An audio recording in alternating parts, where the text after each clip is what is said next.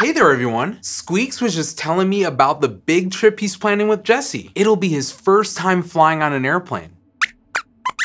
He's pretty nervous. It's natural to be anxious before a big event, but we've been helping Squeaks find ways to feel less scared. I think it's great that you're learning all about how planes and flying work to help you feel less nervous about your first plane ride. But there are a lot more things on planet Earth that fly than just airplanes. Can you think of some?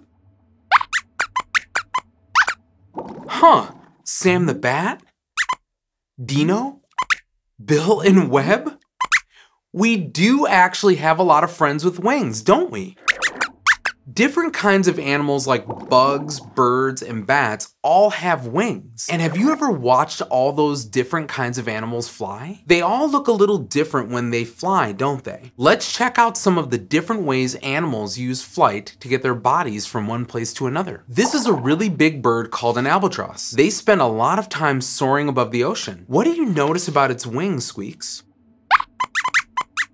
I think they look very long and skinny a little like airplane wings, don't you think? Those big wings help them fly long distances to find the food they need. A little bit like the jet plane you're gonna fly on, these birds use their wings to move their bodies long distances. They travel a long way and for a long time because they're looking for food. Their favorite foods, like squid and animals called krill, might be far apart on the surface of the ocean. So the albatross has to move its body a long way to find the best food. In fact, one kind of albatross can fly around the whole world in just six weeks. What other kinds of flying things can you think of? Oh, yes, great idea. Bees have wings too, although they're very different from an albatross's wings. What do you notice about the shape or structure of a bee's wings? Yes, the wings of a bee are more short and stubby, and let's watch it fly. The albatross flies a long way while the bee makes lots of stops, jumping from flower to flower. The pollen and nectar in the flower are the bee's main food, and it has to visit lots of flowers. So rather than traveling a long way, it might visit many flowers that are close together. If the albatross flies a long way, like a jumbo jet, the bee is like a city bus, making lots of stops. They have to move their bodies in different ways to get food, so they have different kinds of wings to help them do that. And what about penguin squeaks? Have you ever seen one fly? I haven't either, but they are a bird and they do have wings. They just don't use their wings to fly in the air. Penguins use their wings to move themselves through the water. Scientists think it's a lot like other birds flying through the air since the penguins use their wings in a similar way. Let's look at a penguin's wings. See how their wings are flat, almost like the paddle of a boat?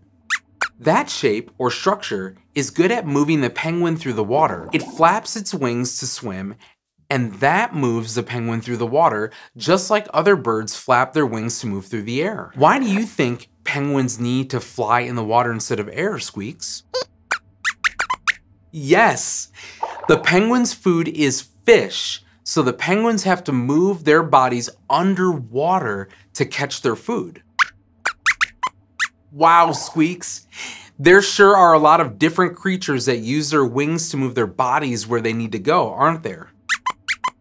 It's pretty amazing to think of all the different animals that rely on flying to get them where they need to be and the different ways they move their bodies from one place to another using flight even underwater in some cases. What types of animals can you think of that use flight to get them from place to place? What other types of wings can you think of? How do those wings help the animal get what it needs from its environment? Thanks for joining us today. If you want to keep learning and having fun with Squeaks, me, Jessi, and all our other friends, be sure to hit the subscribe button and we'll see you next time here on SciShow Kids.